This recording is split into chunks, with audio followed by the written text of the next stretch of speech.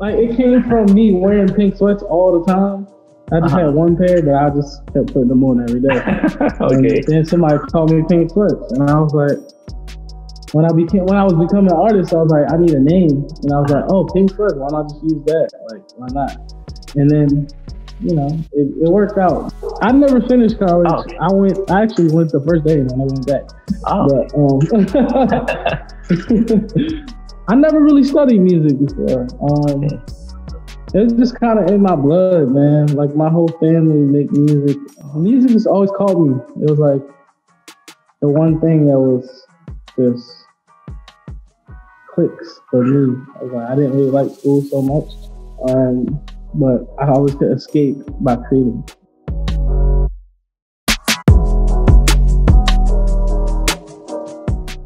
When I was younger, I wanted to be a follower.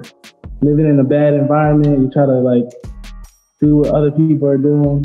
To me, I realized that it wasn't really a good path and that that wasn't really me. You know what I'm Right. saying? I'm a lover and I like to make people feel good. I like when people come around me, they smile. I like when people feel safe and comfortable. And, Right. um,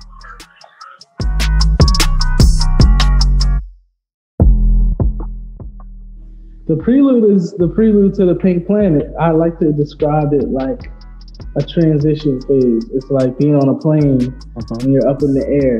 That's the plan, the prelude, and the pink planet is the destination. Um, I got the inspiration from just love and life, like Mhm. falling in love with life and all over again. Definitely on Instagram, I always get messages and everything. I was like, oh snap, like the love is so dope. Like I appreciate it. I don't I don't feel like the need to do it forever. You know, it's easy to me, it's like easy when you have a beacon.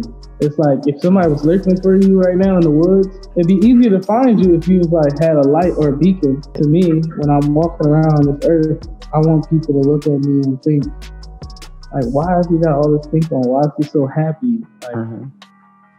I want that.